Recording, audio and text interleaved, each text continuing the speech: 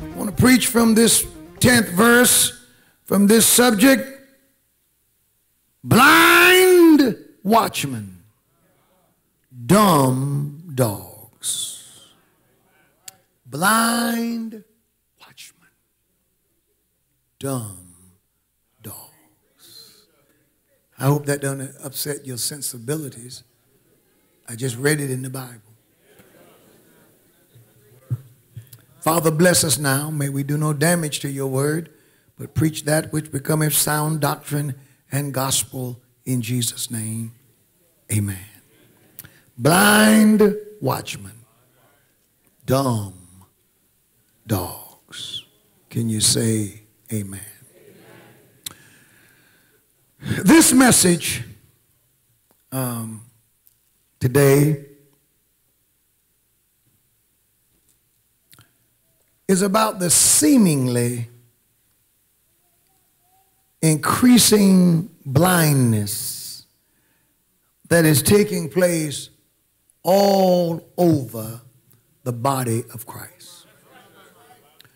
One of the things that's accounting for the blindness is that we made a mistake and we began to allow the world to interpret scripture to us. In times past, until recently, the most popular scripture in the Bible, the most popular were John 3.16. For God so loved the world that he gave his only begotten Son. Whosoever believeth in him should not perish, but have everlasting life. And Psalms 23 and 1. The Lord is my shepherd, and I shall not want. God bless Mother Marshall. So good to see you, Mother. So good to see you today. Praying for you. The 23rd Psalm, the Lord is my shepherd, I shall not want. That, those scriptures have been surpassed uh, by Matthew's Gospel, chapter 7 and um, verse 1. It's the new most popular scripture in the Bible is judge not that you be not judged. Even those who can't find it quote it. But they eisegete it and not exegete it. When Jesus was talking in the Sermon on, on the Mount, he was not speaking about against, he wasn't prohibiting making judgments. You can't live without making judgments. You can't live without having the ability to discern between right and wrong. That's what a judgment is. Um, that's, actually, that's, that's, that's what discrimination is. Every, somebody says, well, I'm against discrimination. Discrimination is wrong. Discrimination is not wrong. Discrimination on basis of race is wrong. But you discriminate every time you choose Kroger over Harris Teeter. Or Food Lion instead of A&P. You go to Rite Aid, A&P's gone in it. Well, I started to say Winn-Dixie.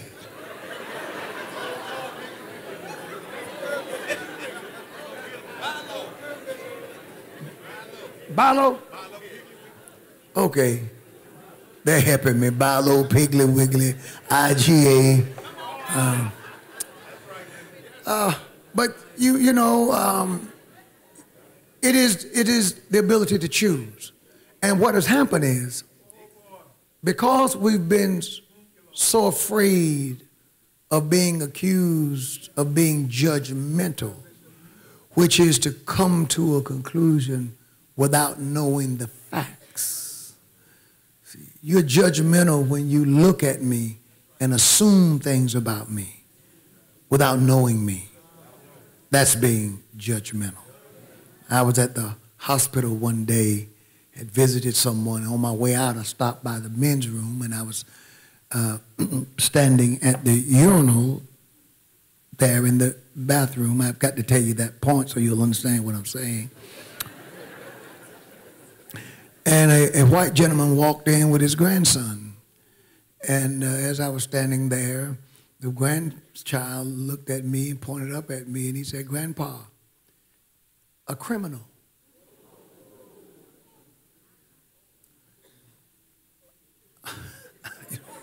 You know, I couldn't move. so I looked back, I said, What did he say? The child meant no harm. The child had been conditioned by its parents to assume that everybody who looks like me is a criminal. Now you have to, you won't like this part. You have to give them a little bit of credit though, because if you go by the news, you, know, you see a steady parade of folk looking like us doing dumb criminal things. Behavior creates stereotypes. But he, he judged me. That's, he, he, did, he didn't know that I'm a man of God. But to him, I was a criminal.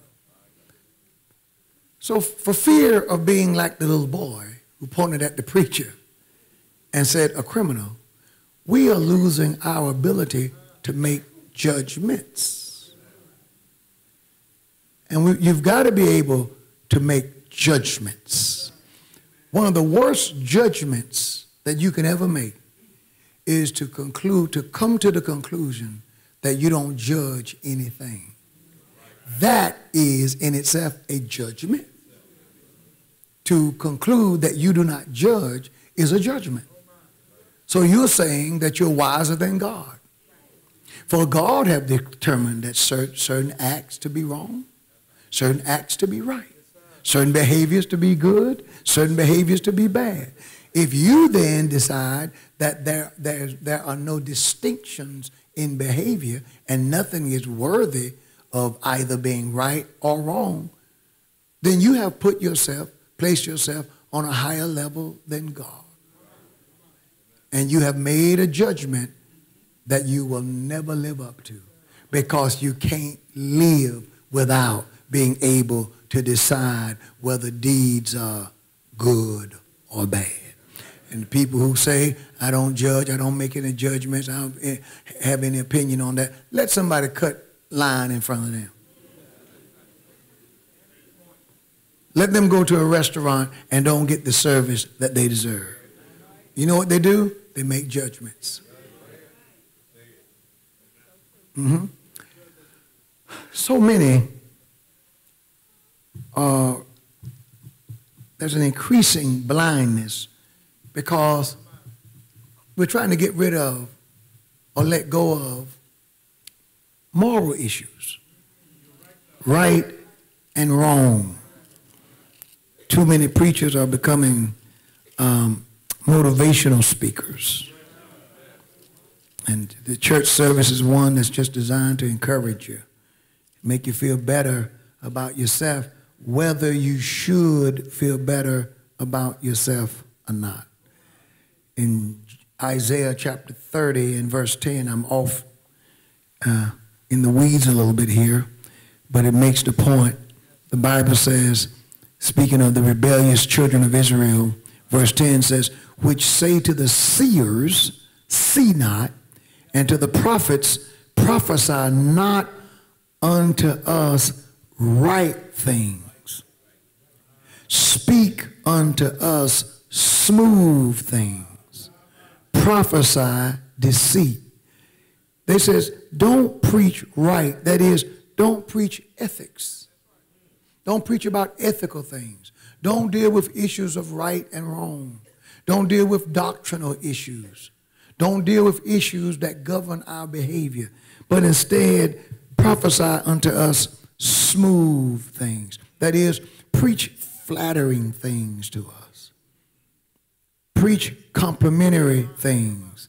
Preach comforting things. And in the attempt today to be a comfort, many of us today are blind. More to the point, it is also, it is about the constantly increasing lack of willingness in church, in the church, of church leaders today to this message deal with the lack of willingness for church leaders to speak up and be the gatekeepers that God have called us to be. It is harder and harder to find the preacher who will preach God's truth. And believe it or not, saints, people want to hear the word of God. Amen. Believe it or not, there will always be an appetite for God's truth. The prophet Amos said this about people after God says he was going to send a famine. He said this about people's response to the famine for the word of the Lord. He says, and they shall wander from sea to sea and from the north even to the east and they shall run to and fro to seek the word of the Lord and shall not find it. That's Amos chapter 8 and verse 12. That is, they will run to and fro from the Dead Sea to the Mediterranean Sea, from the north to the east, literally all throughout Israel's territory to hear the word of the Lord, to hear a word of explanation, a word of forgiveness, a word of correction, a word of hope. People want to hear God's truth. We're in a time where many voices speak for God, but few speak God's truth. They're not speaking from God. They claim to speak for him, but they're not telling the truth. They stand behind podiums. We're called preachers, but they're not speaking the word of God. As I have said before, it is the will of Satan to silence God's preacher, to silence the man or the woman of God. And our text describes the worst situation for a church leader.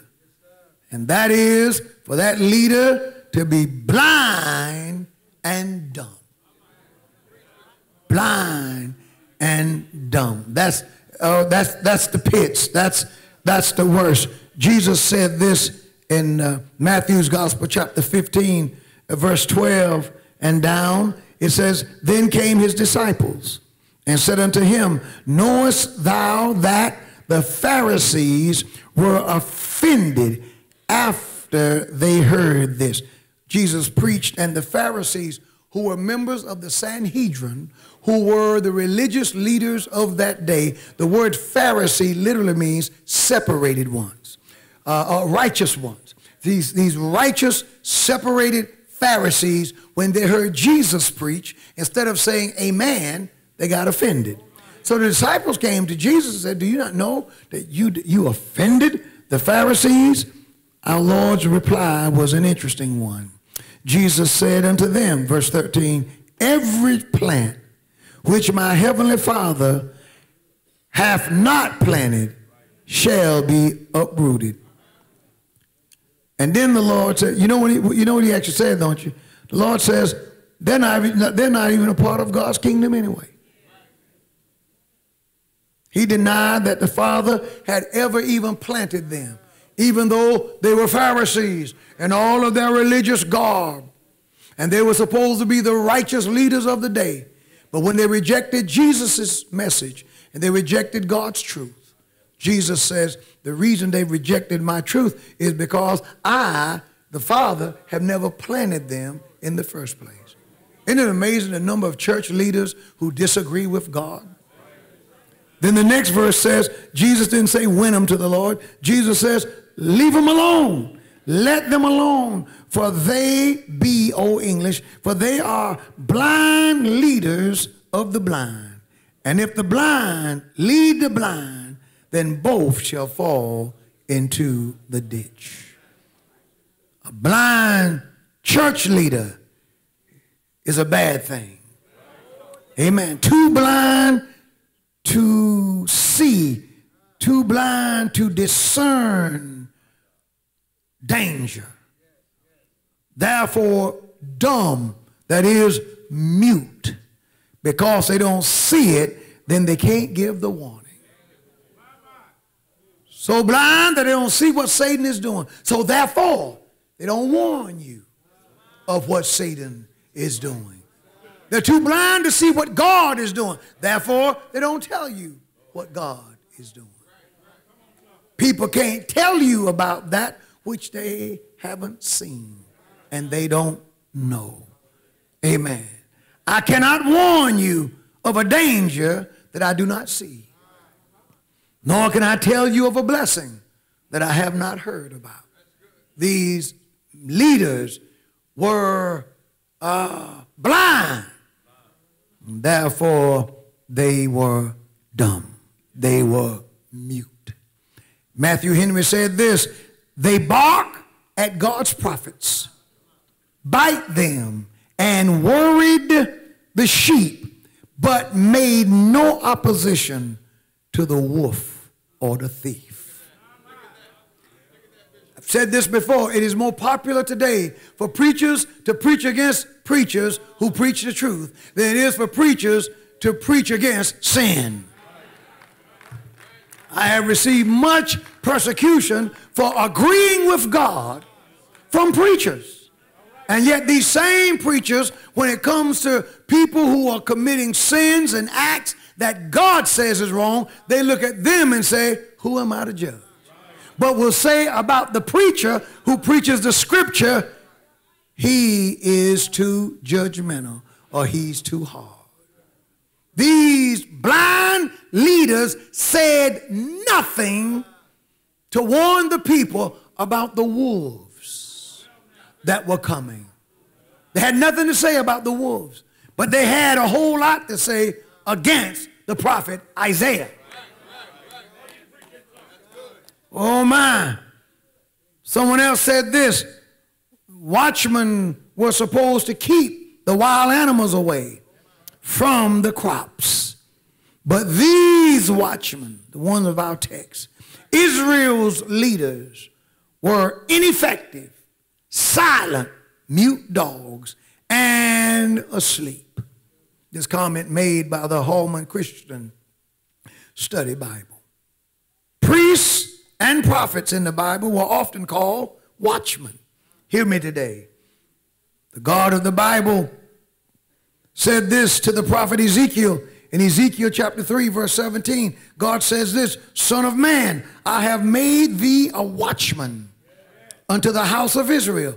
Therefore, hear the watchman. Look at this. The watchman has to be able to watch, but it has to be able to hear.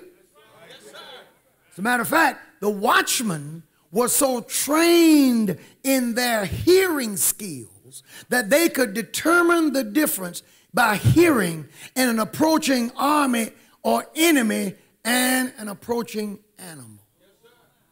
They were trained seers and listeners. Watchmen. He says, I have made you a watchman. Therefore, hear the word at my mouth and give them warning from me. Watchmen were lookouts. They watched for approaching danger. They were posted on high places and such as roofs of gatehouses and they were placed on towers. The watchmen were elevated so that they could see things that the people could not see. Would you turn quickly with me to Ezekiel chapter 33?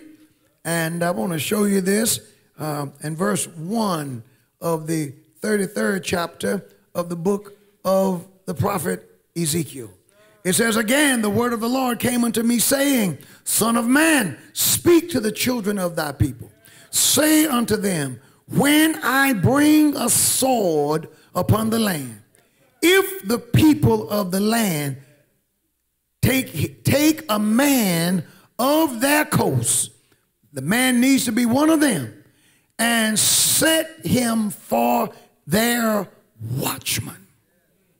If when he see the sword come upon the land, he blow the trumpet and warn the people, then whosoever heareth the sound of the trumpet and taketh not warning, if the sword come and take him away, his blood shall be upon his own head.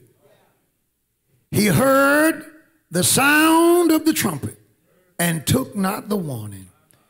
His blood shall be upon him. But if he, uh, but he that taketh warnings shall deliver his soul. But if the watchman see the sword come and blow not the trumpet, and the people be not warned, and if the sword comes and take away any person from among them, he is taken away in his iniquity, but his blood will I require at the hand of the watchman, at the watchman's hand. So thou, O Son of Man, I have set thee a watchman unto the house of Israel. Therefore thou shalt hear the word at my mouth and warn them from me. I am the watchman here.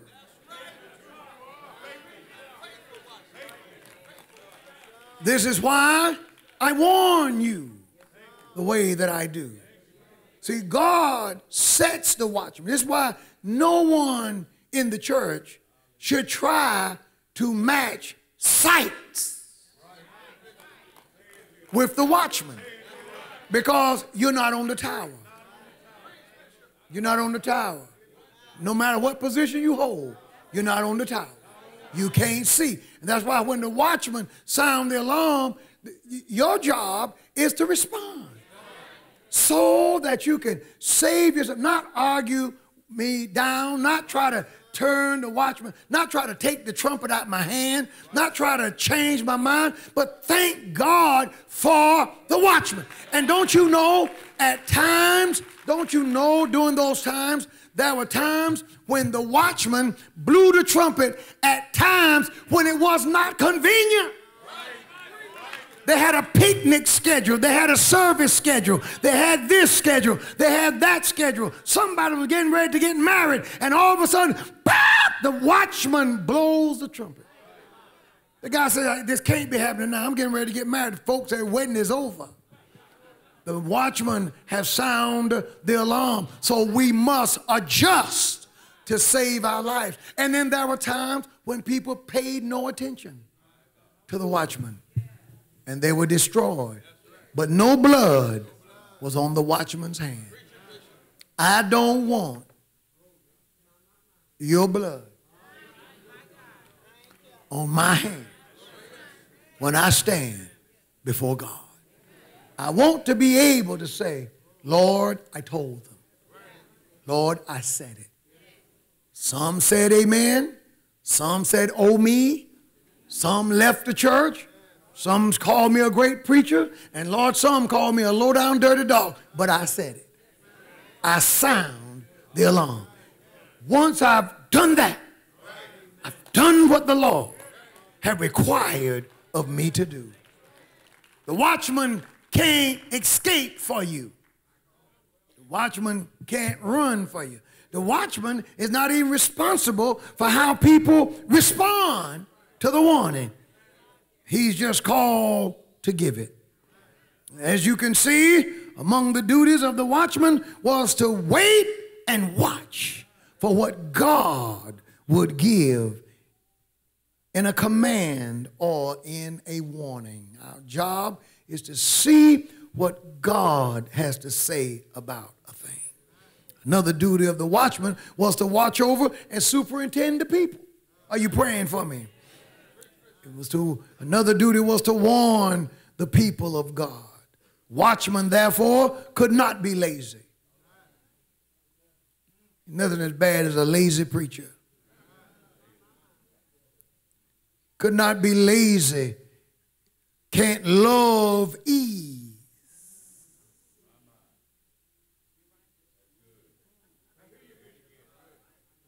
I don't like lazy preachers. All they do is eat.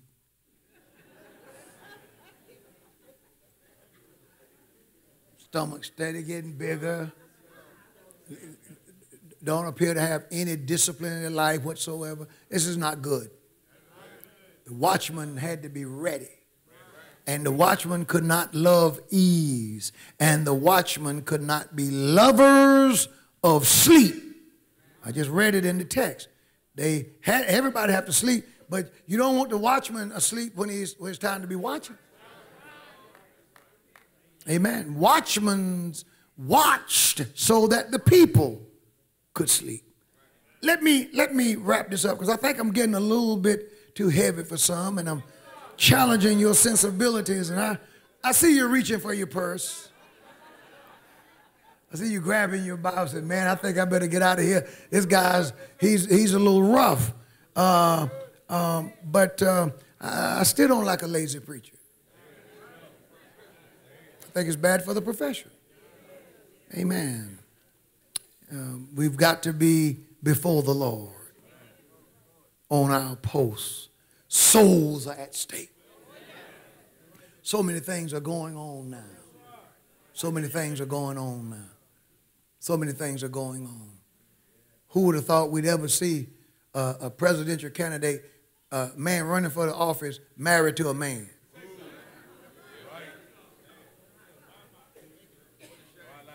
I don't know what's going on in Iowa.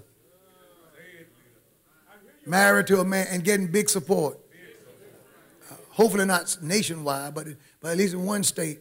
Uh, that ought to, that, that, that, with me, that's Ain't no point you saying anything else.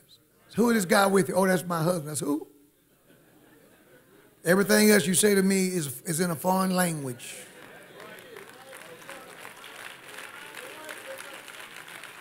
Amen. There's no way in this world. There's no way in this world. I, I would. I, no way in this world. Just, just no way. We things are, things are, are happening. Um, but in, in our text, let me, let, me, let me get to this. We, we're going home. Um, our text is filled with good news. So it starts out with God's promise of redemption, but also, saints, our duty to Him as a result of that redemption promise.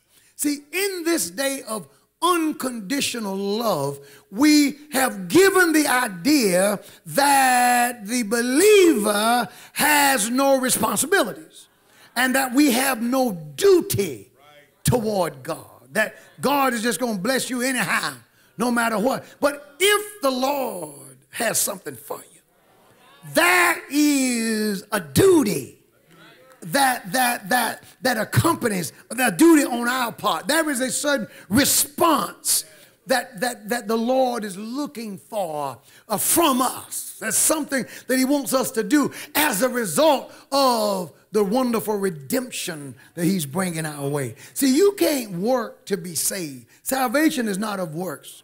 But I tell you what, we do have works because we are saved. See, my my good works don't save me but the good works follow. They accompany my salvation. See, when, when people claim to be saved and they hadn't changed, nothing has happened, nothing's changed, they hadn't been saved yet. Because when you get saved, you'll get right. So I've been saved, I've been saved uh, 30 years, and you're still drinking and smoking. No, you hadn't. Uh-uh. Now, you might have been religious 30 years, but when Jesus saves you, when Jesus saves you, he saves you to bring you out. Folk get saved, things change. I can't get an amen in here. Praise the Lord. In this day, see, everything now is upon condition, but I hear the Lord say, Thus saith the Lord, number one, keep my judgments and do justice. Look at our duty. So, for my salvation is near to come, and my righteousness uh, to be revealed. God's salvation, my salvation, my righteousness. These terms were, were terms uh, in, in, terms of prophecy. And it has a messianic tone. It deals, dealt with, deals with the salvation that Jesus was bringing. Amen. And in real time, it was dealing with God, the deliverance from the Assyrians and dealing, de dealing with the national deliverance that God would bring Israel. But he speaks of his salvation. And notice what he says there's a duty tied to it. The duty is keep my judgments, keep my judgments, and do justice. And he says this you want to be blessed? Blessed is the man that doeth this. Blessed is the man. Happy is the man the happy is the human being who keeps my judgments. And the Son of Man that lay hold on it. I told them today in their leadership that the Bible is my standard. Praise the Lord. Everything I compare to the Bible. But I compare the Bible to nothing because the Bible is the standard. It is the fixed. See, it's fixed it's fixed. If a thing don't line up with the Bible, I'm through with it. Bring me a ideology or a doctrine or a way of thinking that is antithetical to Scripture, I won't receive it because the fixed thing is the Bible. I'm not going to uh, eh, uh, investigate the Bible. Well, someone have told me uh, something, and I've heard these uh, five percenters and these woke people and these other folk, and they've said some things, and they, they don't believe that the Bible is what it claimed to be. Uh, wouldn't what you think. I think they're crazy because the Bible is fixed. God said, forever is his word settled in heaven. Praise the Lord. Praise God. Well, I, I read a few passages of scripture in the Quran. I might need to go back and see what the Bible says again. Not me. Not me. Not me. Nothing makes me re-examine the scripture. Not for truth. I might re-examine the scripture for, so I can respond to this crazy man because maybe I, I forgot what the Bible said, but I'm not going to re-examine the scripture to see if the Bible is right because that's already settled. When you get saved, when you get saved and you've been saved for a minute, you it's settled. It's settled in your heart that the word of God is right. A man stopped me one day and said, Bishop, we not we said, said Pastor Wooden, uh, uh, we need to have a, a, a, summit. We need to have a summit. I said, for what? He said, we need to have a summit. And this was a few years ago, and we need to go back and look at the scriptures and, and see what the Bible says about homosexuality. We need to have a summit. I said, for what? I said, no, we don't. I'm not going to that. For what? It said today what it said yesterday. Ain't nothing changed.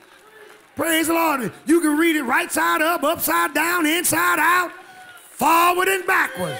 Thou shalt not lay with mankind as with womankind. Whosoever does an abomination. Now, what what? How many times do you need to examine that? No, I, will tell you what's happening. People are losing faith in the scripture. Don't you lose your faith in the word of God. Don't you let anybody cause you to doubt the Bible.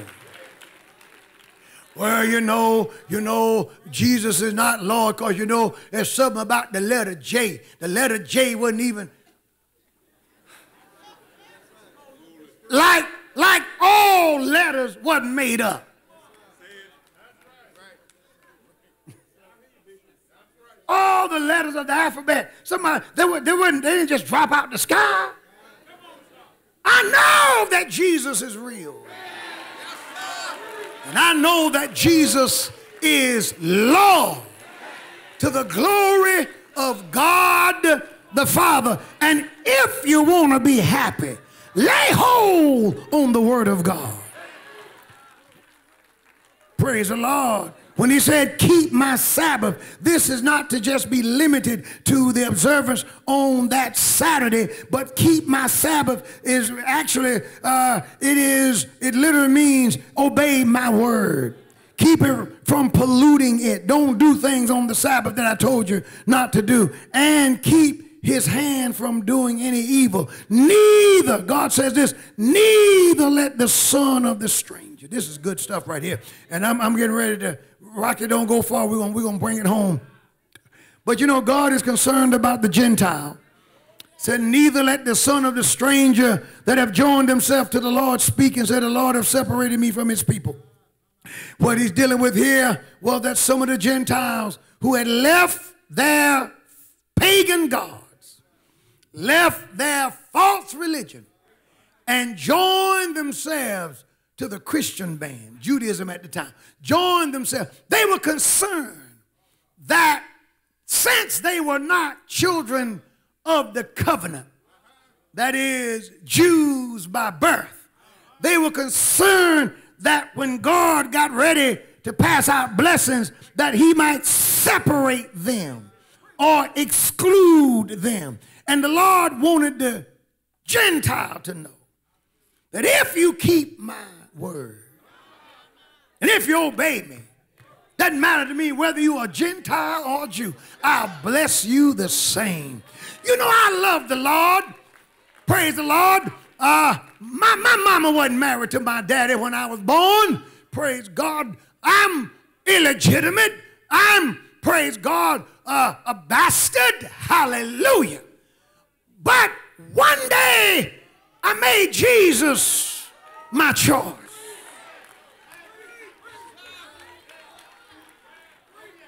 He saved me. And I was like the song, I came to Jesus as I was weary, wounded, and sad from the little Philadelphia section of Rockingham, which is called the wrong side of the tracks. But I found in him a resting place, and he made me glad, sanctified me, called me to preach, ordained me, made me a pastor, made me a superintendent. Good God Almighty, made me a doctor of theology, and then made me a bishop in the church of God in Christ, and then gave me a voice to tell the world with my illegitimate self that can't nobody save you but Jesus. I just want to hear some of the folk in my situation. Everybody's gonna praise him in a minute. But but if but if you happen to be one of those who your mama wasn't married to your daddy, but Jesus still saved you anyway and raised you up and blessed you real good. Can I get a can I hear a praise from you?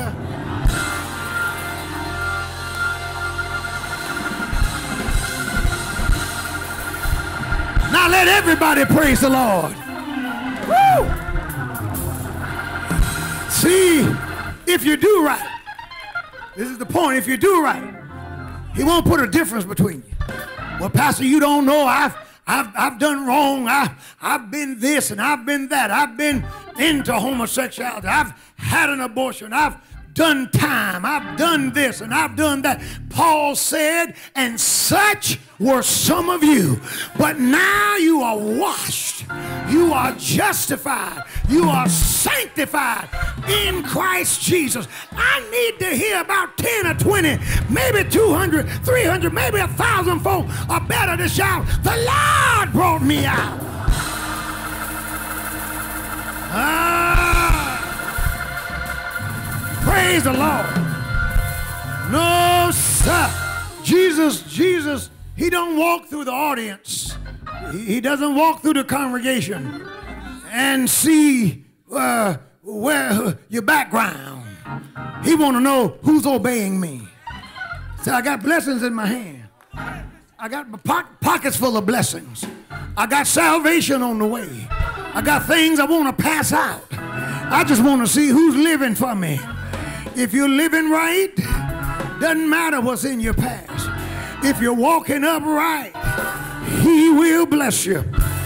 And then I heard him, I heard him. He said, Not only am I going to overlook, I'm going to include the Gentile, but I heard him say, I'm going to look out for the eunuch.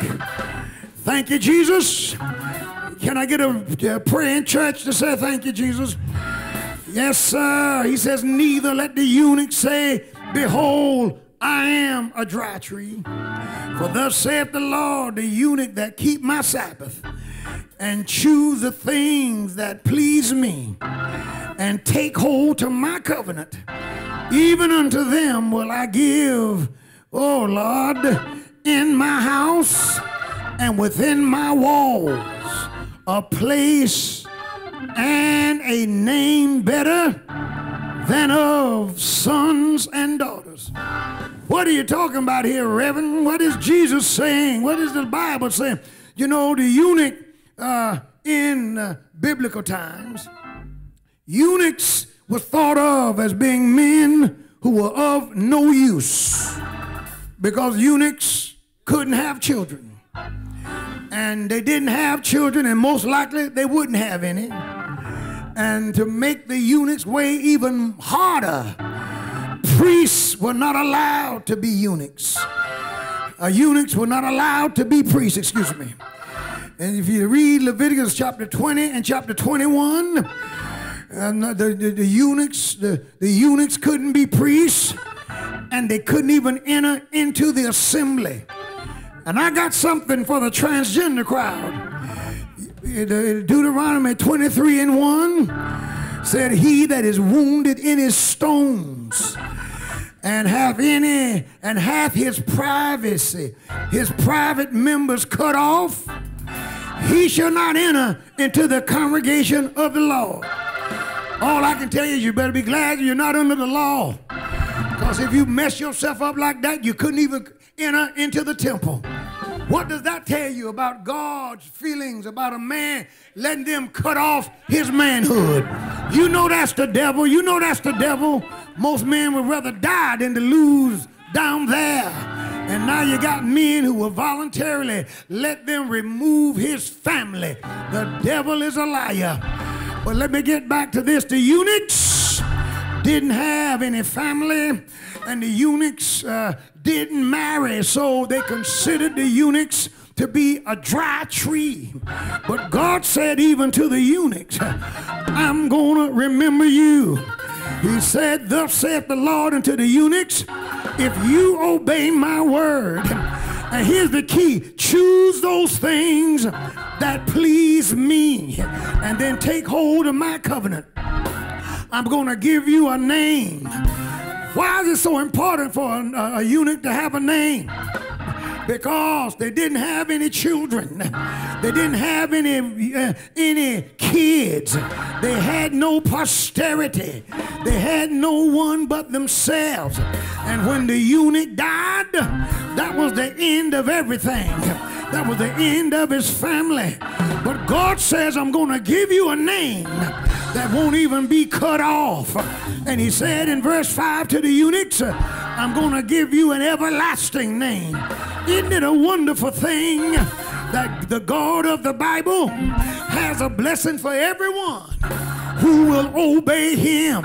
Doesn't matter how low you've been, doesn't matter what your situation is, if you just do right, if you let Jesus save you, if he could give the eunuchs an inheritance, even though they had no children, if he could still give them, could give them a name, what do you think God can do for you if you just serve the Lord?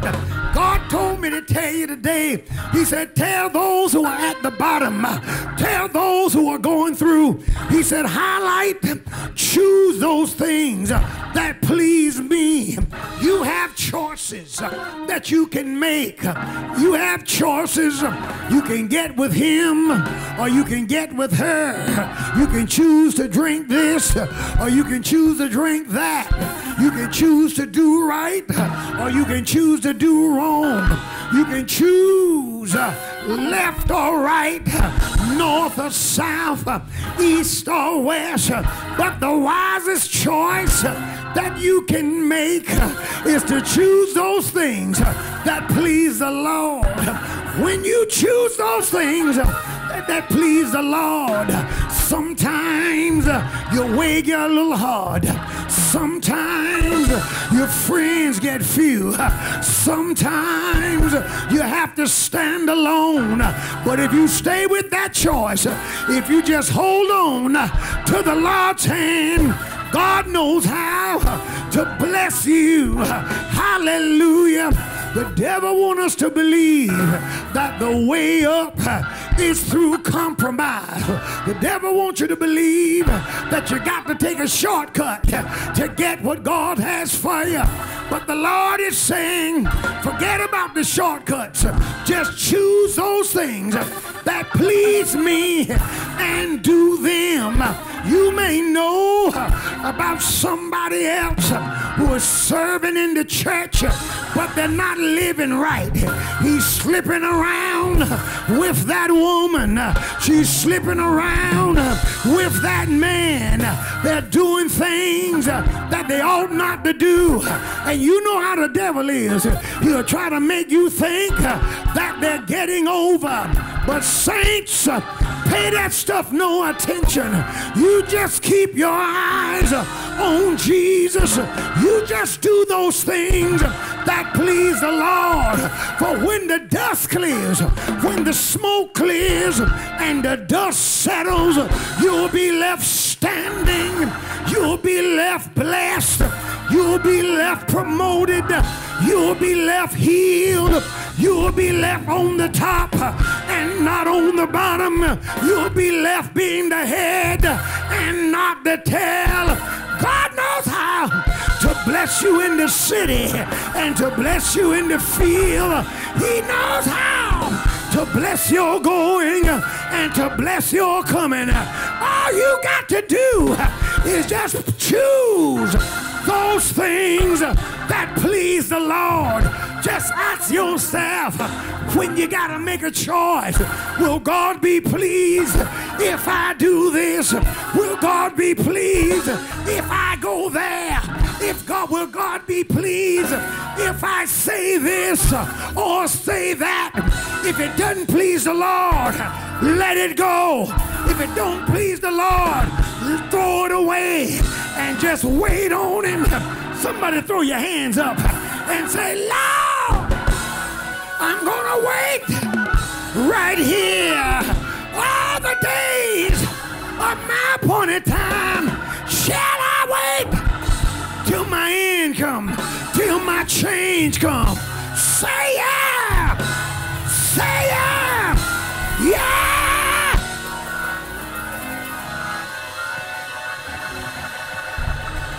Let me hear you praise the Lord. Oh, Lord. I'm going to bless. I'm going to bless the Jew. I'm going to bless my people. I'm going to bless the Gentile. I'm going to bless the stranger.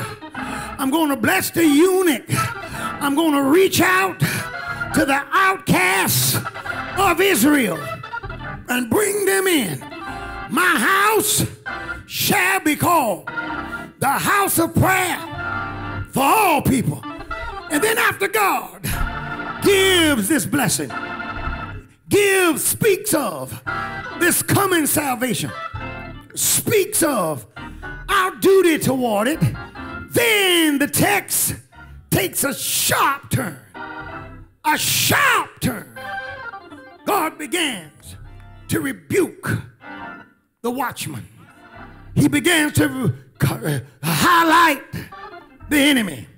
There are enemies out there. There are demon spirits.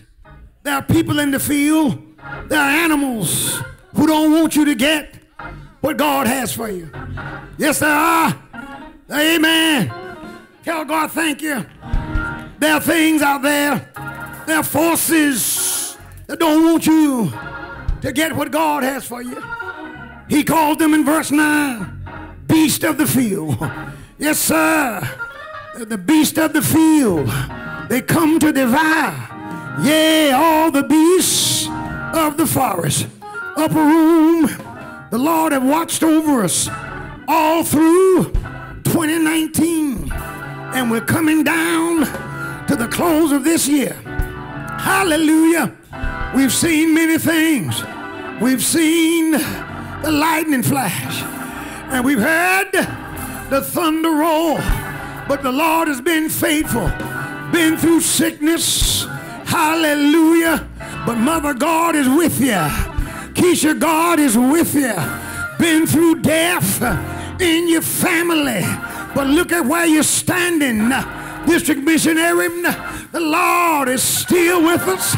Can I get a witness? People have suffered losses. People have suffered gains. And the Lord is still with us. Well, I'm here to tell you that there's another blessing that is on the way.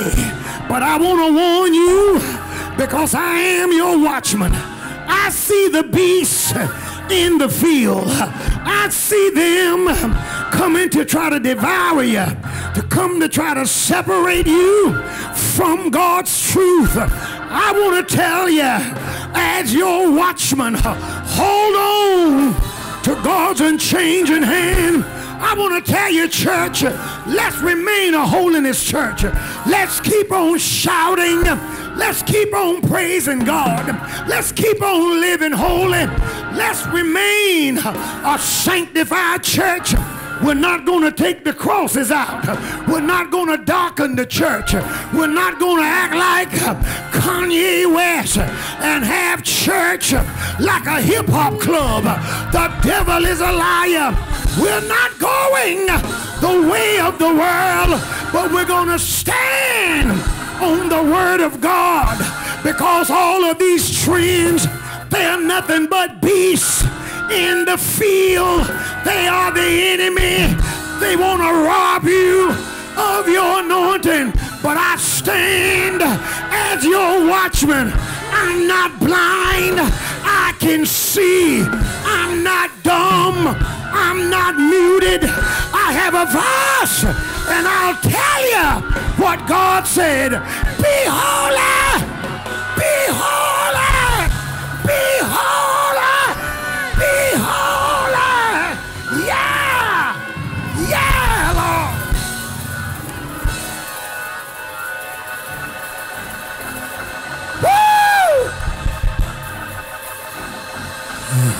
A few people to shout, Holy!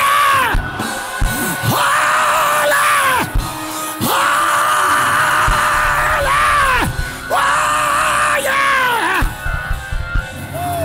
Let me sound the alarm. Sound the alarm. Whoa! Glory to God. Glory to God. Glory to God. I want to be like those blind watchmen, preachers who have no opinion, preachers who won't speak up, preachers who won't. I had a white preacher come to me yesterday. He was telling me about a black preacher friend of his who loves the Lord. He's a good preacher. We're at the clinic. He said to me, But Reverend, I can't get him to come to the clinic. I can't even get him to even preach on it. And the white man said, and Reverend, it's killing most of your people. I said, what you said this guy was? Say he's a good guy. He loves the Lord. I said, tell him that Bishop Wooden said he's a coward. Tell, tell him I want to talk to him. Tell him I said he's blind. I'd already, I'd already prepared my, my message. Tell him I said he's a blind watchman and a dumb dog because you can't do that. How you going to be quiet? How you going to be quiet? How you gonna not warn the people? Well, if he says something about it, he may lose his job. That's what the text said. Said they said they were in it for themselves.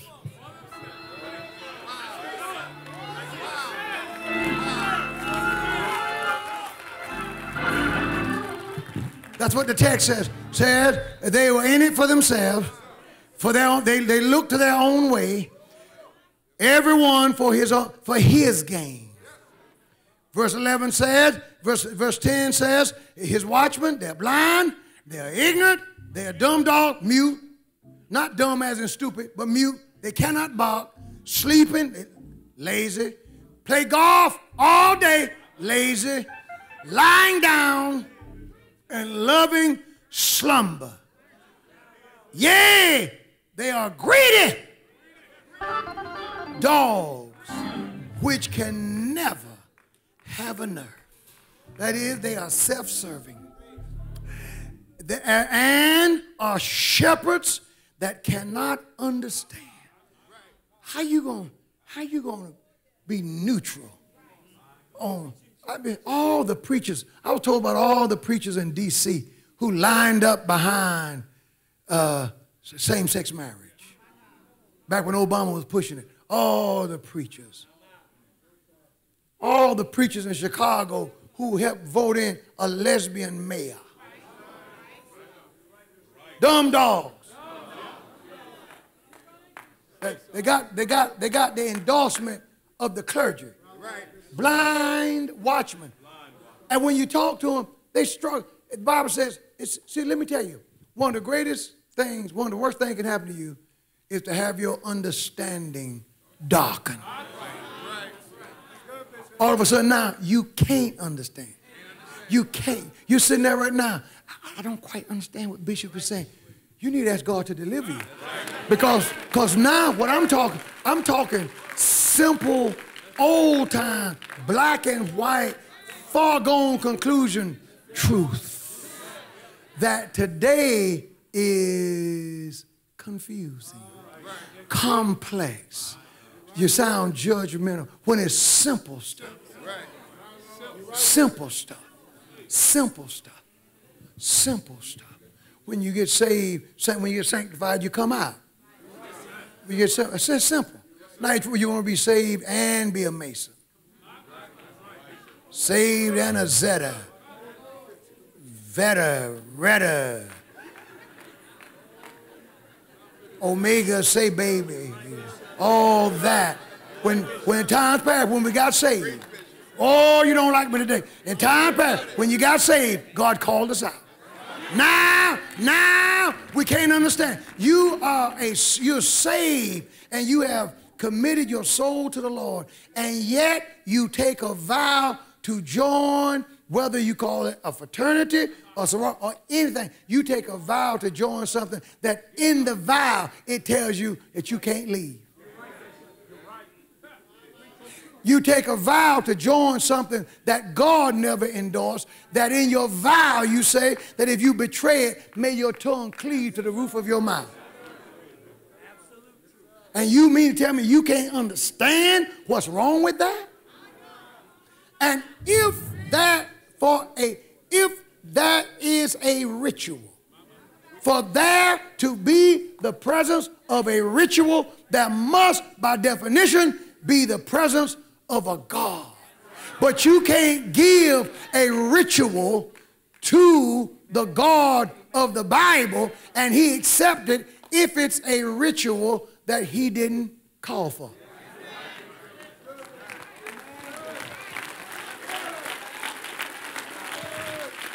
Show me, and I'll get on television and take it back. Show me in the scripture where we're called to be these things. Talking to a man the other day, he said, Well, I joined this certain group because it helped me with my college. They, they helped me with this, they helped me with that. And I said to him, it was very polite. I said, Oh, I'm not denying the good works that certain organizations do. Every time I see one of them Shriners commercials, I'm so impressed with what they do to help children. I said, but let me, let me submit to you Paul was a part of the Sanhedrin. Paul was a Pharisee of Pharisees. Paul was touching the law blameless. Paul was a Hebrew amongst Hebrews. Paul was a chief promoter of Judaism. Paul said concerning the law, I'm blameless. Am I right? Let's see the good things, good works of Judaism. Judaism gave us the Ten Commandments, the Decalogue. Judaism gave us the law and the prophets. Judaism gives us Daniel, Moses, Isaiah, or Jeremiah, Old Testament. Judaism have given us prophecies on Jesus Christ. Judaism is the foundation for Christianity. And yet, when Paul got saved, he came out of Judaism and he said, concerning what he learned in Judaism. He says, Now I count that as dung for the more excellent knowledge of my Lord and Savior, Jesus Christ. Now, if Paul had to give up Judaism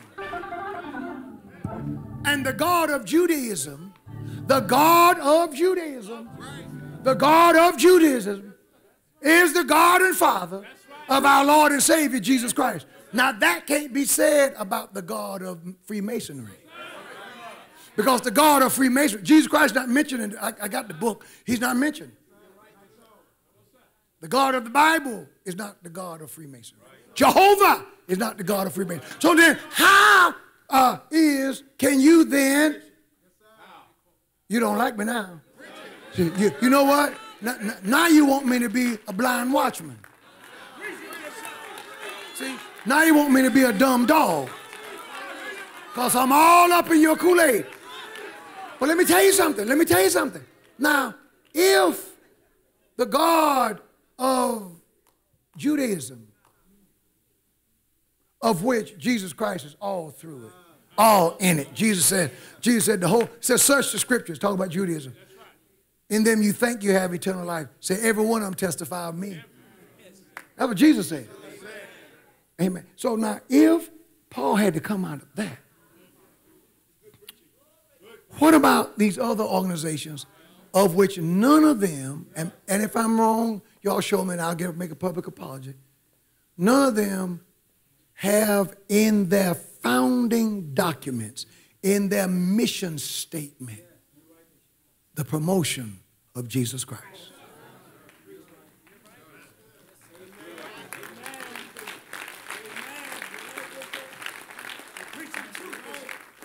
Well, what about making a football team and joining a team? You ain't got to make a vow. You got to make a ritual. Just go out and hit somebody.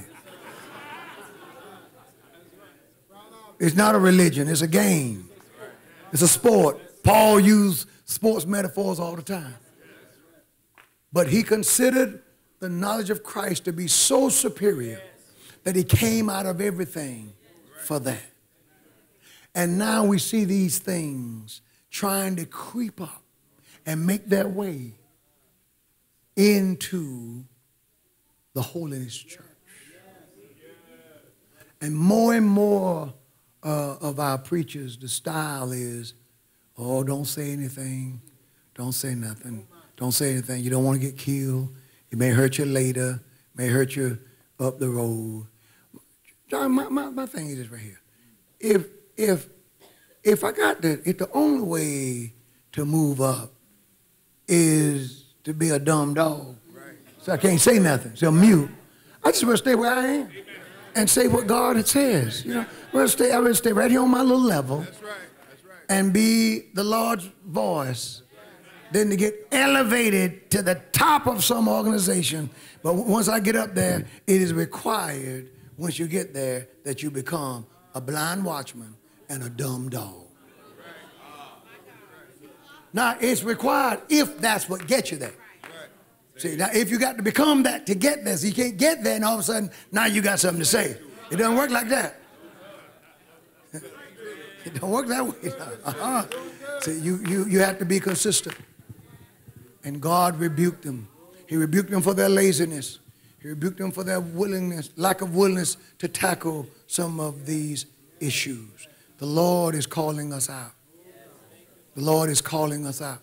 And, and at least and, and, and, and you know what I've done? I did it intentionally. I want to give you, so I want you to think about it. And I said to the brother as I talked with him, I said, brother, I challenge you to be Pauline in your thinking. For if you are Pauline, Pauline, the Apostle Paul, if you adopt Paul's style, you're going to come out. Because he came out of everything came out of every, even changed his name, came, came out of everything and said, you know what? Not only do I want to come out of this, but he says this here. Ah, here's why I came out. He says, that I might know him. And I want to know the power of his resurrection. Now, you can't know that unless you're willing to die. But not only that, now, now I'm going to lose you. He said, and the fellowship of his sufferings. Other words, I want to suffer like Jesus. I, I, I, want to know, I want the full experience of being a believer.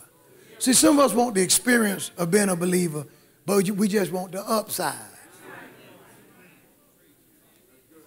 You don't want the full experience. Because when the other stuff come in, I don't know, I, I didn't sign up for all this. I'm amazed at these married couples. Uh, they stood up there and said for better or for worse. Said it in front of everybody, for richer or for poor, in sickness and in health. Sickness show up. Worse show up. Poor show up. Then you say, I didn't sign up for it. Yes, you did.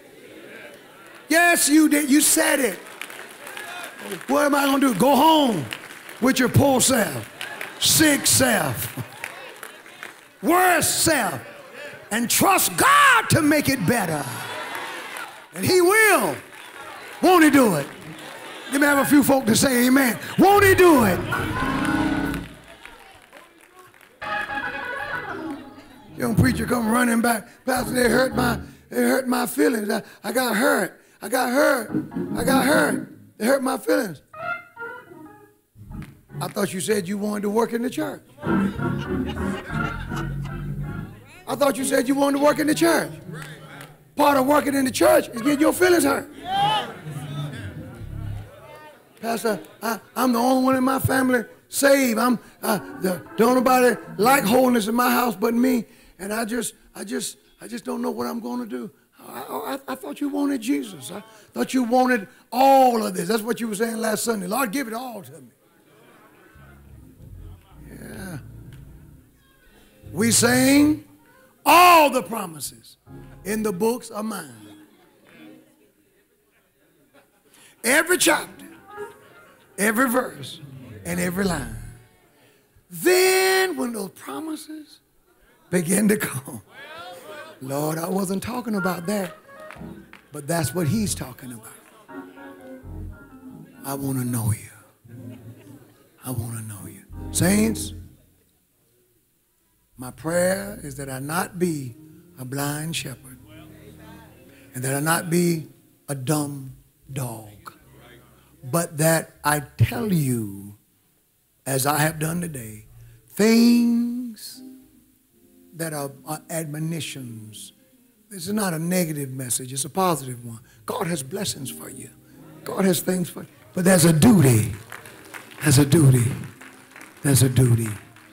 And for those who, who wanna who wanna know him better, who wanna get closer to God, who wanna get closer to God, come to the altar.